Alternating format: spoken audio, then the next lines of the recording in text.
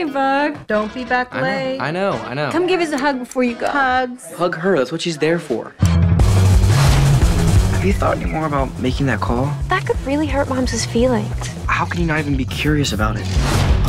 Each of my moms had a kid with your sperm. Like in both of them. Uh huh, like in gay. Right on. Cool. I I, uh, I love lesbians. Great.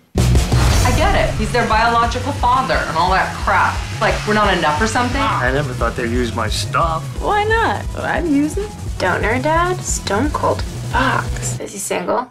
First of all, you. You met him, and that's cool. And now we can move on. I want to see him again. You do? You do? So great to meet you. Go easy on the wine, hon. It's daytime.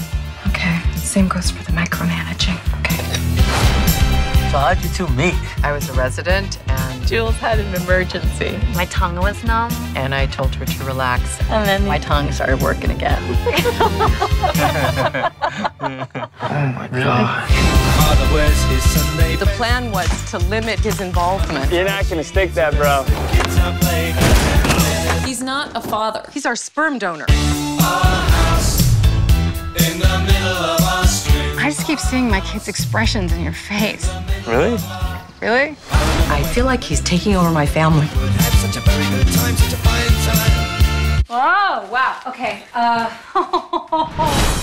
What's that look you're giving me? That's no look. That's just my face. Driving home on a motorcycle. This is something I just never allow. Mom, I'm 18 years old. I've just felt so far away from you lately.